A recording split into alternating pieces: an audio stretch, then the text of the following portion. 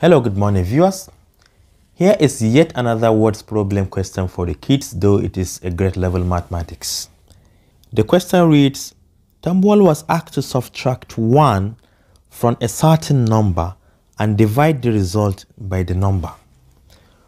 Unfortunately, he subtracted the number from 1 and divided by the number. The answer he got was 1 less than expected and we are asked to find the number.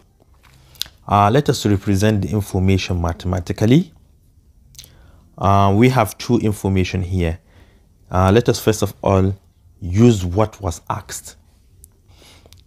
So Tambuwal was asked to subtract 1 from a certain number. So let that number be x. So he was asked to subtract 1 from that number and still divide by the number. But what he does was he subtracted the number from 1. So he said 1 minus the number and still divided by that number. But the question is telling us, you can see it here, the answer he got was 1 less than expected. So this number right here is 1 less than this one. So if we should add 1 to this number, they will be equivalent. So we can directly add 1 to this number and equate them. All right, now we have our equation, but not that x can never be equal to 0. Now what we are going to do here, we are going to multiply every single term by x in order to clear the fraction. So we multiply the whole of this by x. So this x will cancel this 2x and it has to multiply this by x.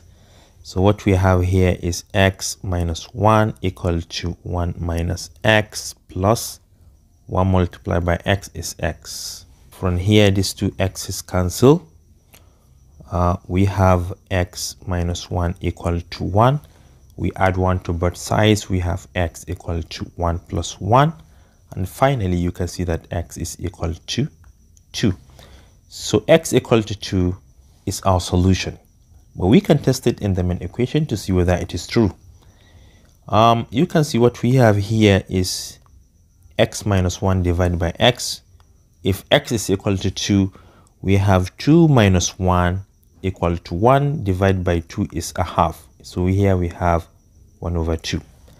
And here we have 1 minus 2 is negative 1 divided by 2. You can see we have negative 1 over 2 but we have plus 1 here. If you add 1 here you're going to get 1 over 2 so the left hand side is 1 over 2 and the right hand side is 1 over 2 and hence we say that the real solution is x equal to positive 2 and this is all i have for you today. Thank you for watching.